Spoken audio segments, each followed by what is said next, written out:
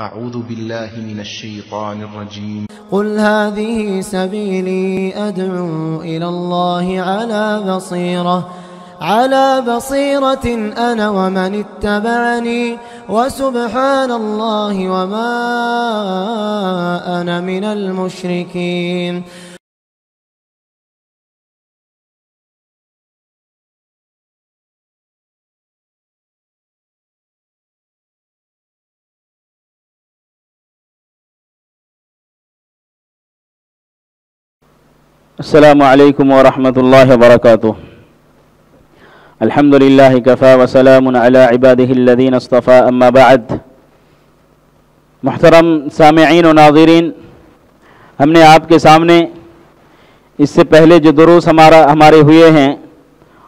उसमें हम ये आपको बयान किए कि ज़िक्र के क्या क्या फ़जाइल हैं, ज़िक्र की अहमियत क्या है ज़िक्र किसको कहते हैं? सलात ज़क़़त, रोज़ा, हज, ये सब के सब तिलावत कुरान, ये सब ज़िक्र में दाखिल है।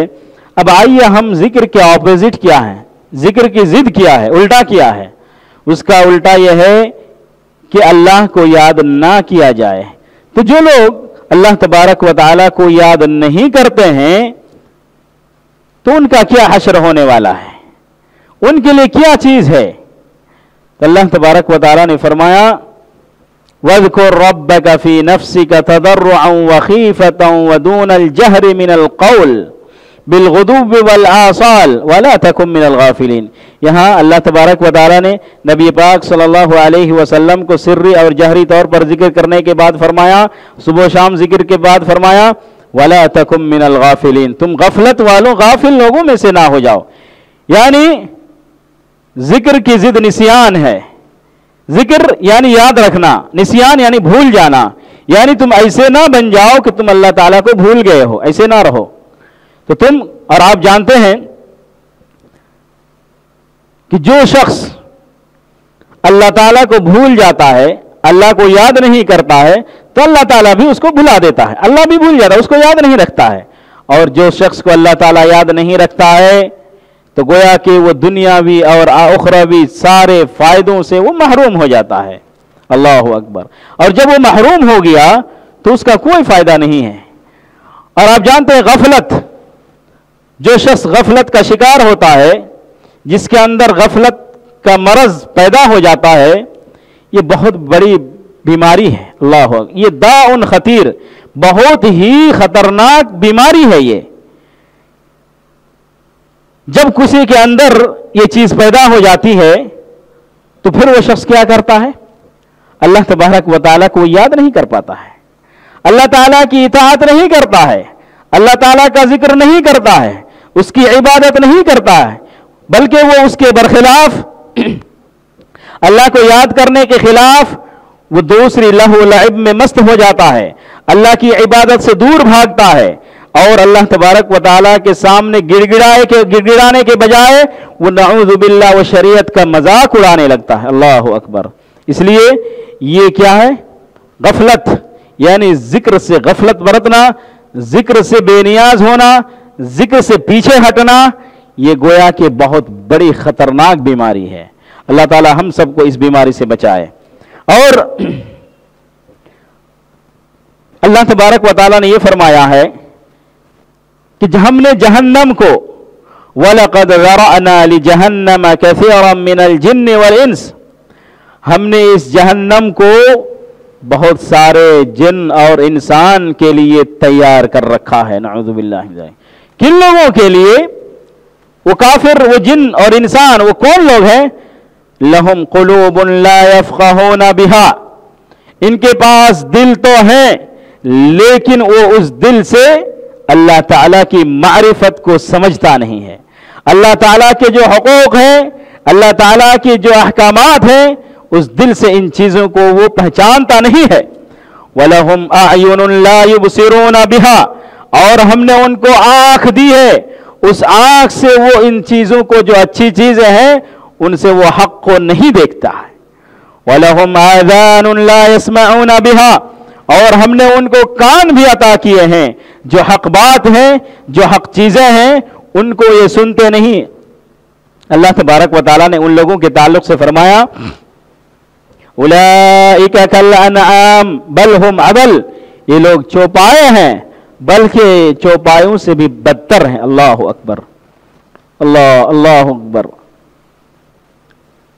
उलाइका हुमुल गाफिलून। और यही लोग गाफिल हैं। यानी अल्लाह ताला को याद नहीं करता। हमारा मकसद यही है। कि अल्लाह तबारक व ताला ने इनको सब कुछ अता किया, दिल अता किए, आँखें अता किए, कान अता किए, फिर भी इसके बावजूद ये हक चीज़ों को ना देखते हैं, ना समझते हैं, ना सुनते हैं, बल्कि ये चौपायों जैसे हैं या उससे भी बदतर है, यही लोग गाफिल हैं, यही लोग अल्लाह ताला को याद करने वाले नहीं हैं। अल्लाह अकबर। और फिर अल्लाह तबारक वाली ने और एक जगह फरमाया है इन लदीन हयात दुनिया। जो लोग अल्लाह ताला की मुलाकात से की उम्मीद नहीं रखते और वो दुनियावी ज़िंदगी से राज़ी हो जाते हैं। वथमान बिहा और इस दुनियावी ज़िंदगी से मुतमिन रहते हैं। वल्लदीन हम अन आयातिना गाफिलून। और ये लोग अल्लाह ताला की आयात से गाफिल रहते हैं। यक्सिबून।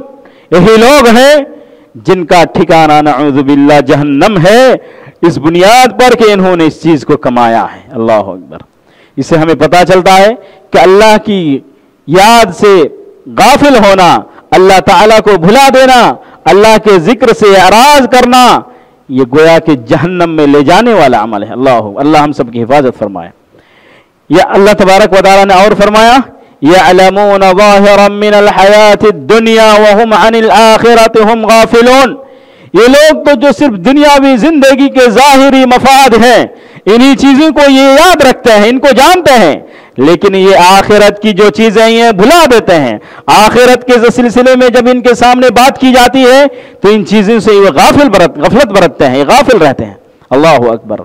इसलिए जो शख्स अल्लाह तबारक व ताली को याद करता है, गोया कि उसका दिल ज़िंदा है, और जो अल्लाह तबारक व ताली को याद नहीं करता है, जो गाफिल रहता है वो गोया के मुर्दा है। इससे पहले नशिस्त में हमने किसी नशिस्त में बताया था कि जो शख्स अल्लाह तबारक व ताली को याद करता है, प्यारे हबीब सल्लल्लाहु अलैहि वसल्लम ने फरमाया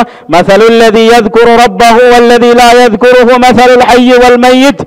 उस आदमी की मिसाल जो अपने रब को याद करता है और उस आदमी की मिसाल जो अपने रब को याद नहीं करता है जिंदे और मुर्दा की मिसाल है। यानी जो शख्स याद करता है, गोया कि वो ज़िंदा है, और जो शख्स अल्लाह तबारक वाली को याद नहीं करता है तो गोया कि वो मुर्दा है। अल्लाह अकबर। और मुस्सही मुस्लिम की एक रिवायत में है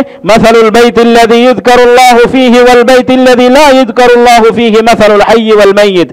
वो घर जिसमें अल्लाह तबारक व तआला को याद किया जाता है, वो घर जिसमें अल्लाह तबारक व तआला का ज़िक्र किया जाता है, और वो घर जिसमें अल्लाह तबारक व ताला का ज़िक्र नहीं किया जाता है, ये दोनों ज़िंदा और मुर्दी की मिसाल है। अल्लाह अकबर। यानी जिस घर में अल्लाह का ज़िक्र हो, वो घर गोया के ज़िंदा है, उस घर में अल्लाह का ज़िक्र होता है और जिस घर में अल्लाह का ज़िक्र नहीं होता है तो गोया कि वो घर मुर्दा है।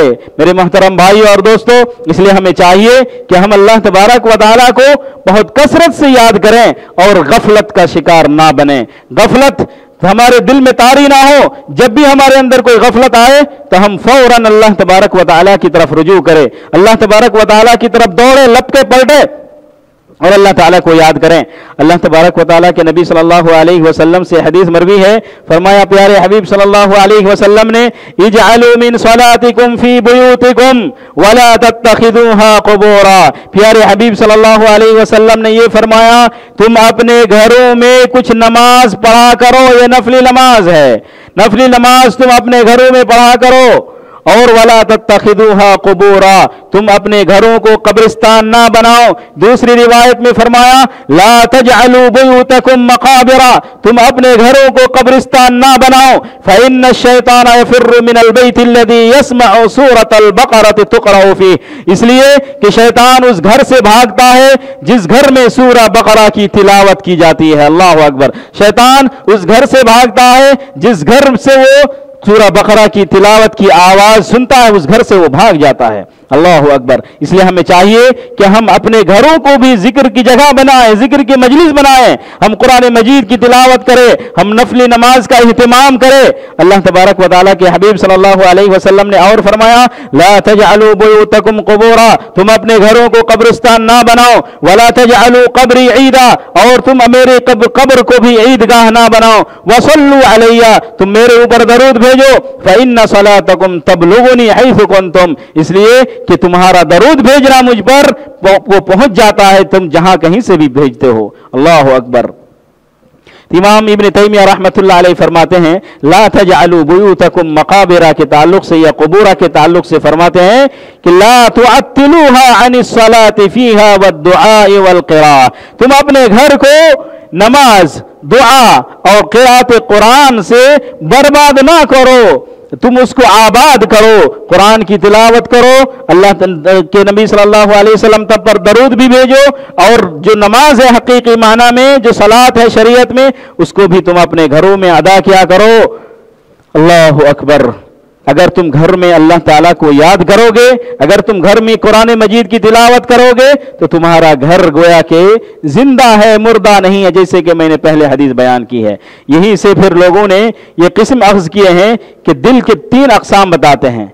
ये जो हमारे अंदर दिल है तो दिल के तीन अकसाम, तीन किस्में बताते हैं। तो पहली किस्म है अलकल्ब सलीम, यानी सही सालिम दिल है। उस दिल के अंदर कोई मरज नहीं है। उसके अंदर न अल्लाह तबारक वाली के सिलसिले में कोई शक है, बीमारी है, और न किसी चीज़, यानी अबूदियत के सिलसिले में कोई बीमारी है। तो ये दिल क्या है? अल्लाह तबारक वाली के ज़ात में कोई शक नहीं करता है। ये कल्ब सलीम है, पाक दिल है। ये क्या है? हिफाजत से रखा गया है। अल्लाह तबारक वाली इसको महफूज कर दिया है। तो ये हमेशा अल्लाह तबारक वाली के ज़िक्र में लगा रहता है। और एक दूसरा जो दिल है वो कल्ब मैत है, ये मुर्दा है। यानी अल्लाह इसमें कोई हया नहीं, हयात नहीं है, उसमें, इसमें कोई ज़िंदगी नहीं है। ये ना अपने रब को याद करता, अपने महबूद को याद करता है, ना अल्लाह तबारक वाली के जो अवामिर हैं, नवाही हैं, उन कोई परवाह नहीं है। और दो, तीसरी किस्म जो दिल की है, वो है कल्बुल्लहु हयातुन वह बिही अल्लाह यानी उस दिल के अंदर कुछ ज़िंदगी है, लेकिन वह बिही अल्लाह उसके अंदर कुछ मरज है। अल्लाह अकबर। उसके अंदर कुछ मरज है तो हमें चाहिए कि उन मरज को, उन जो अमराज हैं, जो बीमारियाँ हैं, उन बीमारियों को हम अपने दिल से, बीमारियों में क्या है? वह अल्लाह पर ईमान नहीं लाता है।